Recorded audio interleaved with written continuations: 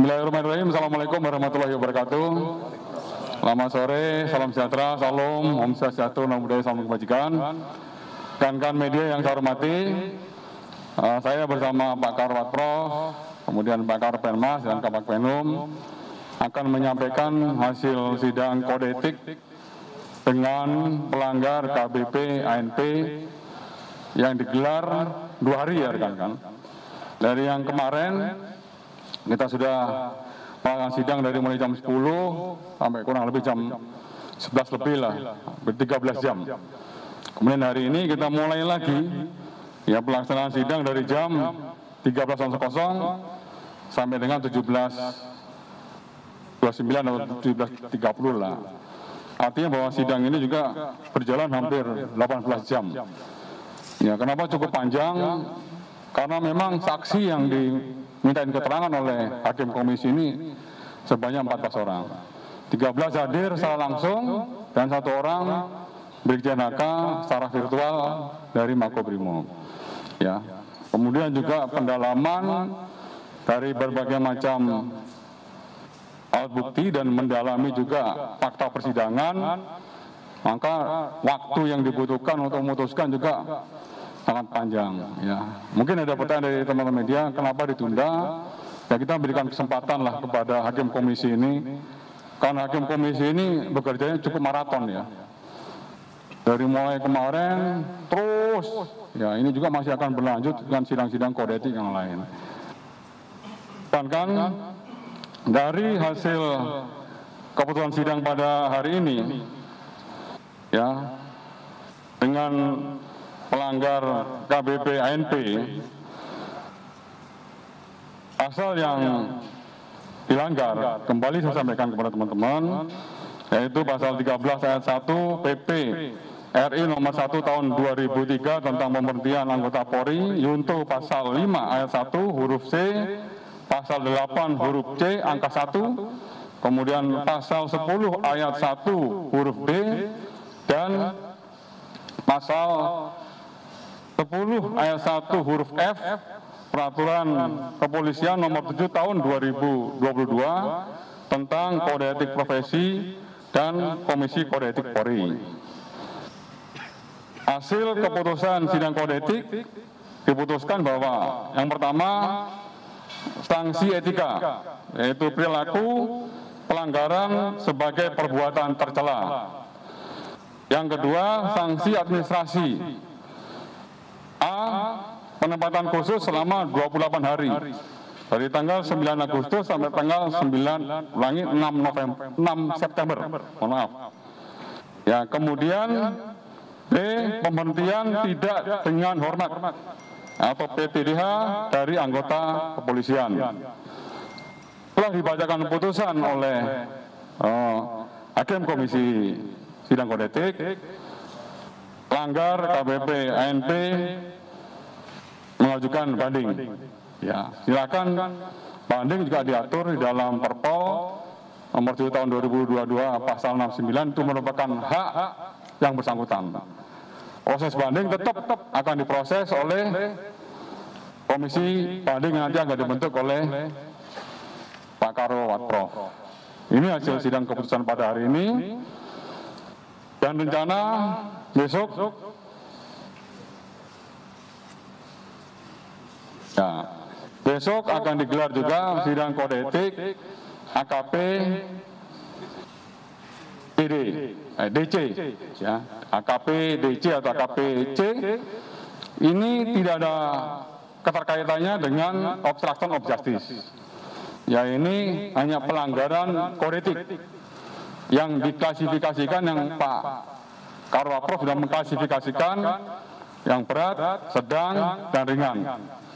Ya, yang bersangkutan masuk kategori sedang, ya, masuk kategori pelanggaran sedang, dan besok akan digelar dan tentunya keputusannya menunggu besok. Ya, dan berikutnya juga nanti akan juga digelar beberapa sidang kode etik lainnya. Untuk terkait sidang kode etik obstruction of justice mungkin akan dilanjutkan minggu depan. Ya, ini yang pelanggaran-pelanggaran dulu, baru nanti yang terkait menyangkut soal obstruction of justice minggu depan lagi. Karena pemberkasan juga masih terus berproses dan saksi-saksi juga yang dimintain keterangan juga cukup banyak. Ya, jadwal berikutnya tentunya akan saya sampaikan ke teman-teman sekalian. Ya, jadi itu teman-teman yang bisa saya sampaikan kegiatan sidang kode etik pada hari ini dengan pelanggar KBP ANP. Terima kasih. Pak Dedi, eh, kita tahu bahwa eh, tahun ini eh, Kapolri pernah mengeluarkan peraturan Kapolri nomor 2 Apa? tahun 2022 eh, tentang pengawasan melekat Pak. Hmm. Dan pasal 9 itu diketahui bahwa bila oknum melanggar maka eh, atasan dua tingkatnya bisa dimintai pertanggungjawaban. Nah kita tahu bahwa eh, kita tahu bahwa Wadir Reskrimum itu kemudian saat ini eh, sedang menjalani sidang eh, kode etik dan mungkin juga pidana. Bagaimana dengan dua atasan di atasnya, gitu Pak? Misal di Reskrimum dan juga Kapolda Metro, apakah juga akan dimintai pertanggungjawaban? Ya itu ranahnya dari Itsus. Saya tidak berandai-andai. Saya menyampaikan semuanya dari fakta yang disampaikan oleh Irsus atau Propam ke saya. Ya, kalau misalnya itu ranahnya yang belum bisa disampaikan kepada saya, saya tidak akan bisa menyampaikan ke teman-teman. Sama dengan materi penyidikan. Ketika materi penyidikan masuk pada materi penyidikan, saya tidak ada data dan fakta yang disampaikan oleh penyidik kepada saya, saya juga tidak akan menyampaikan kepada teman-teman. Karena ranahnya harus betul-betul clear. Ya, pertanggungjawaban pidana pun demikian. Ya, orang per orang tentunya harus seizin daripada otoritas penyidik ataupun dari eh, propam. Ya, kita menunggu aja dulu hasilnya. Ya, oke? Ya, hasil pemeriksaan Ferdi Sambo hari ini eh, seperti apa dan kemarin sepertinya Putri Chandrawati diperiksa menggunakan lie detector hasil pemeriksaan lie detectornya seperti apa Pak? ya. Sudah saya tanyakan untuk hasil pemeriksaan eh, tersangka Ijen FS terkait menyangkut masalah obstruction of justice dari penyidik. Kembali lagi ranah penyidik, penyidik masih belum menginformasikan kepada saya hasilnya seperti apa. Untuk hasil lie detector atau poligraf ya yang sudah dilakukan kemarin terhadap saudari VC dan juga saudari S sama ya hasil poligraf setelah saya berkomunikasi dengan tes puslapor dan juga operator poligraf bahwa hasil poligraf atau lie detector itu adalah pro justitia ya itu juga konsumsinya penyidik Kenapa saya bisa sampaikan pro justitia? Setelah saya tanyakan, ternyata ada persyaratan, ya, sama dengan Ikatan Kedokteran Forensik Indonesia. Untuk poligraf itu juga ada ikatan secara universal di dunia, ya pusatnya di Amerika. Dan alat poligraf yang digunakan oleh lapor kita ini semuanya sudah ya terverifikasi dan juga sudah tersertifikasi baik ISO maupun dari perhimpunan poligraf dunia. Ya alat-alat yang kita ini alat dari Amerika tahun 2019 dan tingkat akurasinya 93 persen. Dengan syarat tingkat akurasi 93 persen maka itu prosesitia. Kalau di bawah 90 persen itu tidak tidak masuk ke dalam ranah prosesitia. Kalau masuk ranah prosesitia berarti hasilnya diserahkan ke penyidik. Ya penyidik yang berhak mengungkapkan kepada teman-teman. Termasuk nanti penyidik juga akan menyampaikan ke persidangan. Karena poligraf tersebut bisa masuk dalam 184 KUHAP, ya, alat bukti. Selain petunjuk juga masuk ke dalam keterangan ahli. Gitu lagi Pak, Eh, gantian.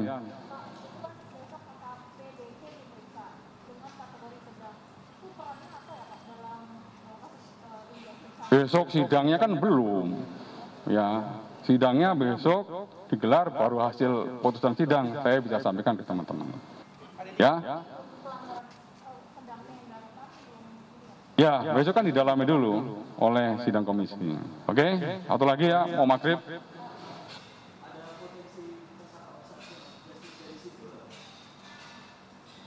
Sipil. Karena ini lingkupnya kode etik, ya us anggota Polri. Kalau dari sipil berarti nanti penyidik. Ya, sementara ini saya belum mendapat informasi dari penyidik ya. Untuk yang sipil ya. Sementara yang of justice ini kan kaitannya dengan penyidikan anggota Polri yang melakukan obstruction of justice. Ya. Satu lagi. Apa? Kan sudah saya sampaikan.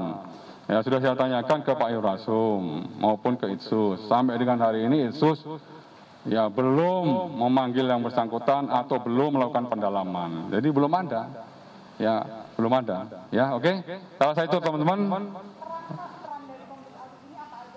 Apa? Ya, saya ulangi lagi kemarin sudah sampaikan ya. Perannya yang bersangkutan satu yang melakukan pengrusakan terkait CCTV yang ada di pos satpam. Ya, yang kedua di dalam melaksanakan olah TKP ya juga ada hal yang tidak profesional yang dia lakukan dan itu semuanya terbukti di dalam proses persidangan. Satu tambah satu tambahan lagi dari Pak Karo adalah permufakatan ya untuk melakukan penghalang-halangan penyidikan. Nah, jadi tiga, makanya semuanya dibuktikan di dalam fakta persidangan sehingga diputuskan yang bersangkutan seperti yang saya sebutkan tadi. Ya, ya, oke teman-teman terima kasih. Bila itu Assalamualaikum warahmatullahi wabarakatuh.